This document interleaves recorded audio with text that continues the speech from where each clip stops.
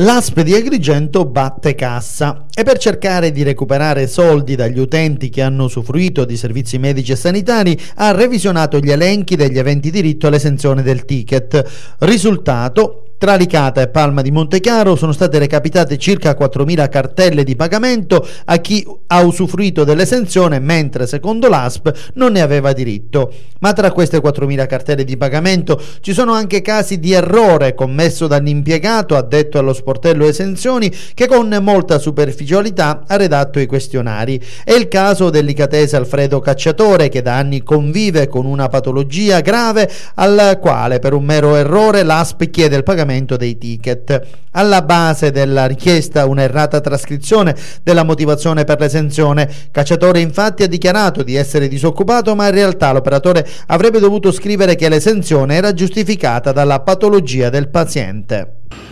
Ho un handicap e vivo con un mezzo dall'ospedale.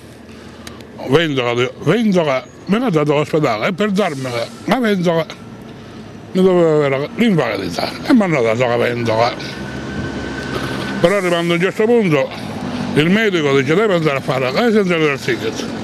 Arriva all'ospedale, agli uffici dell'ospedale, cosa fa? Distintamente, ignorantemente, in buona fede, ho detto disoccupato.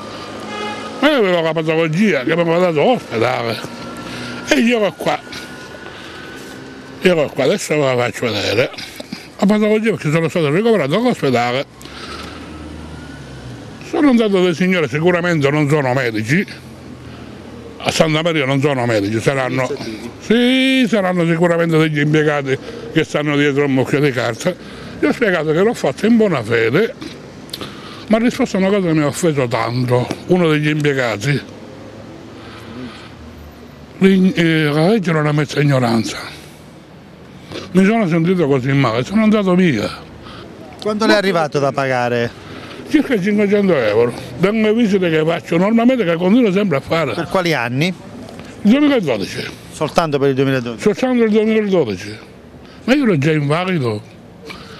Eh, Quindi praticamente alla base di questo c'è, eh, loro hanno visto lei... L'ignoranza mia, io faccio una, una. Non è soltanto sua l'ignoranza perché pare che queste cartelle siano arrivate a 4.000 persone, sì. quindi eh, 2.700 a Licata, 1.300 a Palma, tutto il distretto. Quell'impiegato che ho parlato io mi ha detto non c'è niente da fare. Lei può andare da qualsiasi parte, può andare, va, vada soltanto io all'ufficio dell'ospedale e, e si informi come deve pagare. Ha pagato già la cartella? No. Non intende pagarla? No, non intendo pagarla. Io se ci sarebbe un ufficio di, di poterlo denunciare, lo denuncerei e sono andato da un avvocato adesso. Che non è che si può fare che in buona fede faccia una cosa, non è penale. La patologia comunque c'è riscontrabile? Ah, sì, c'è no, riscontrabile. Sono andato di nuovo all'ospedale, mi sono fatto fare, cambiare dalla, dall'esenzione del ticket, me lo sono fatto fare in patologia e me l'hanno fatto mi hanno fatto il documento in patologia e io ce l'ho. Ora ufficialmente ciò, mi hanno fatto pagare la casa dell'università, tutte le visite che avevo fatto nel 2012. Ma io vivo con un mezzo dall'ospedale. L'ospedale